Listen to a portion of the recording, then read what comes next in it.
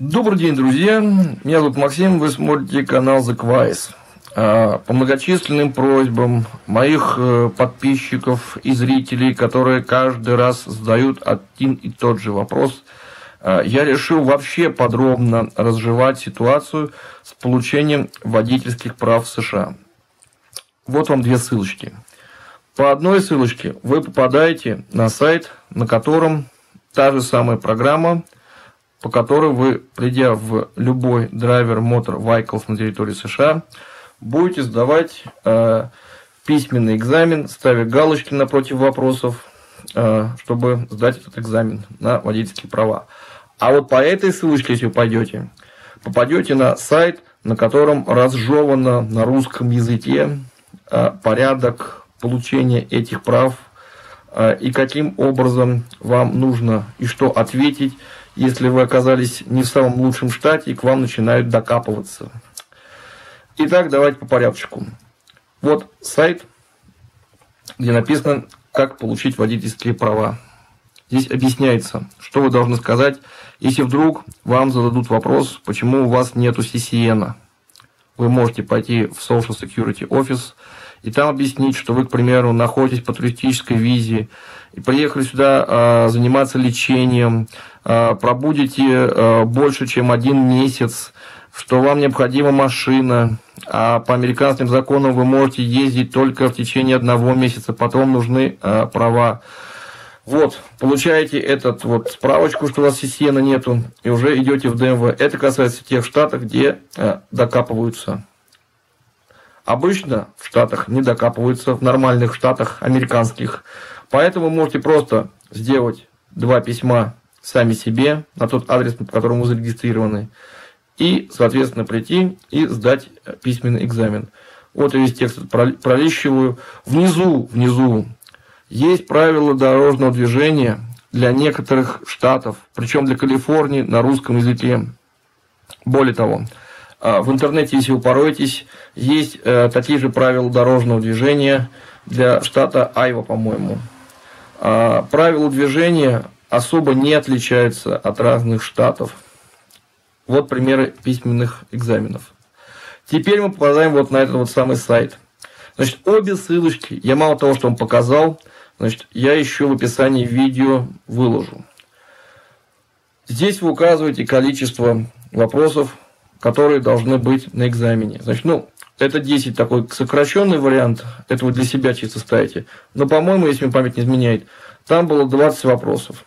И вот начинаете бедин. Читаем. Finance for speeding А. И, соответственно, вы должны выбрать, что из А. In work зоны. Reduce, doublet, triplet. Переводим на русский язык штрафы за превышение скорости в рабочей зоне э, даблет. Ставим Б. Ой, сори, у меня на русском языке. Поставили check answer. Есть, correct. Answer B, doublet. Next questions. Значит, чтобы э, была эффективность от вашей сдачи, очень много людей английский язык знают не ахти. Тем более, что здесь некоторые специфические слова, которые э, не сразу поймешь.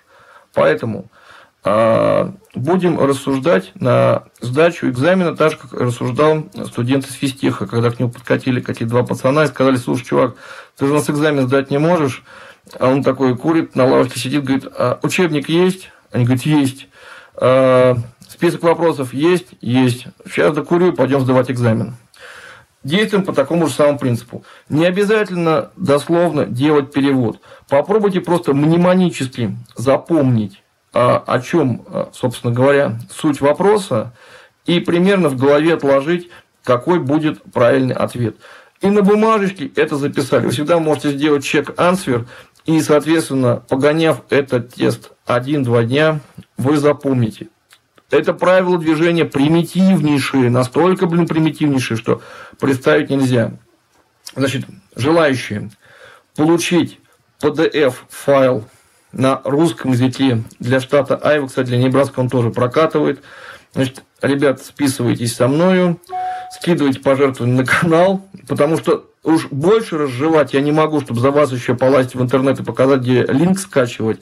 Значит, скидывайте пожертвования на канал, и я вам PDF этот сбрасываю на вашу электронную почту.